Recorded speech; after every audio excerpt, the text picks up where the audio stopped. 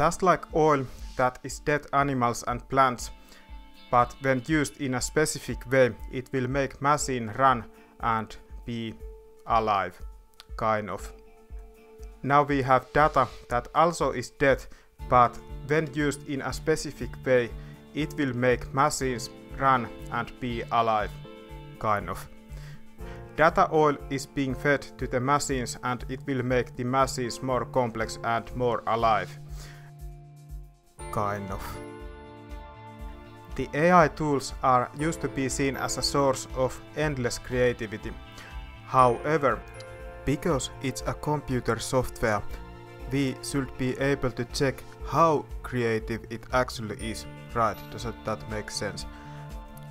The LAION-5B is the core of many of the biggest image generators. It's a collection of almost 6 billion images that are being used by many of those generators. Most likely some of your images also are part of this collection. First, let's look at this couple in the kitchen making food generated by Midjourney. Where do you think Midjourney got the idea to create this kind of an image? I did wrote the prompt, but I dare to say that the idea for this image was not coming from me. Let's just paste that same prompt to the search engine to see what will come up from the LAION-5B dataset.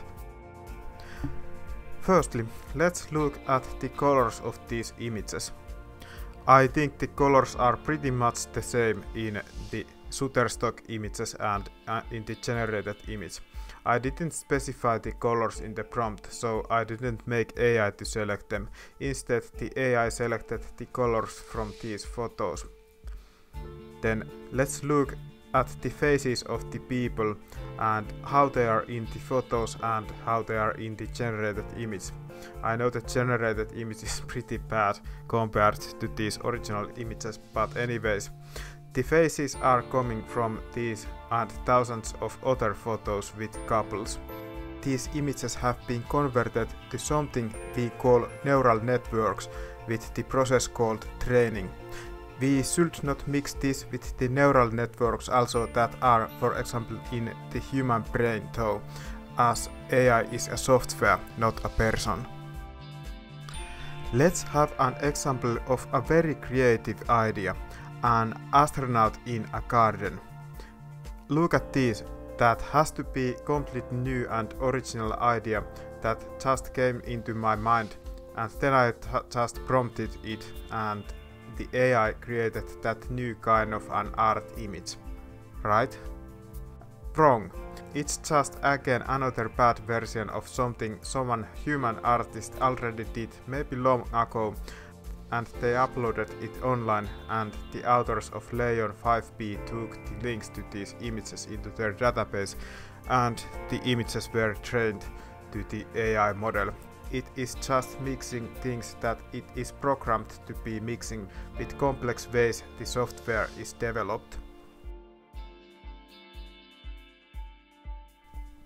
A human person could create, for example, an image based to this kind of a thought process. When I was a kid and it was a Christmas time, I made a snowman in our yard.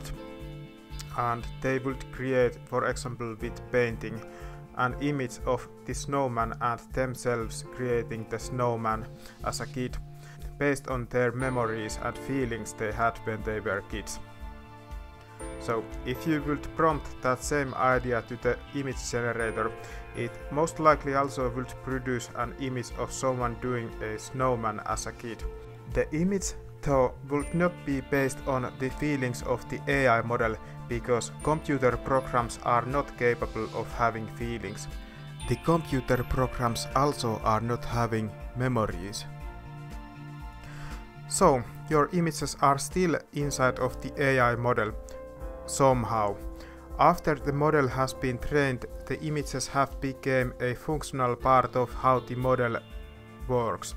So they are not in an image format of course, but they all together have become the so-called neural network that is producing the end product.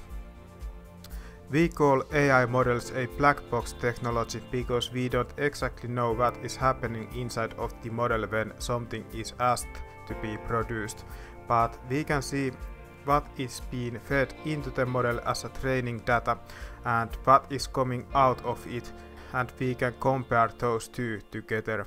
So, what's up with all of those generated Shutterstock images from the AI models? Of course they are there because a big portion of the LAION-5B actually is taken from Shutterstock.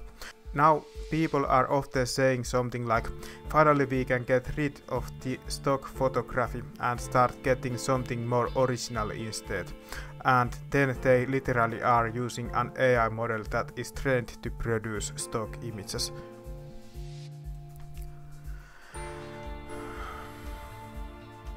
They also didn't ask to be part of these AI models, but now they are, as far I know, permanently. Their photos are from the internet taken to the AI to be trained with. As far as I know, the AI creators cannot remove them, except maybe by deleting the whole AI model and starting over without these photos.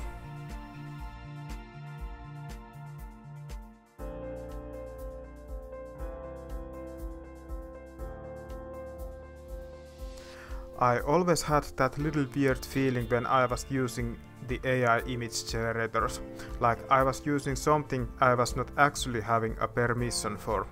I mean, I had a permission to use the AI model because I was paying for the AI company, but the source of all that creativity, it's not the AI. It's the artists and it's all of these random people and no one was asking them if they wanted to be part of this thing. Let's imagine that you are a voice actor and then some big studio decided that they will clone your voice and start producing stuff with your voice. Songs and movies, radio talk shows and everything. They didn't ask you if they would be allowed to clone your voice. They just took it. They also didn't take what you said. They only took how you said it. I think there is nothing fair in that kind of an idea. It's the same thing with the art AI models. They don't clone your images directly, they clone how you created your images. They kind of tried to clone your hands. So, these were some of the reasons why I don't wanna use AI image generators. I always wanna do the right thing. Anyways, thank you very much of watching this video and God bless.